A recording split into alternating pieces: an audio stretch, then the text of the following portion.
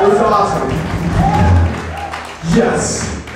So uh, I want to thank the recovery room for getting us in here sort of at the last minute, and, and you guys all showing up here, and it means a lot to us, and we just love to fucking play, and that's why we're here. A thing that adds to us loving to play recently is our new motherfucking drummer right here, Mr. Isaac Carpenter, and this is called Snap.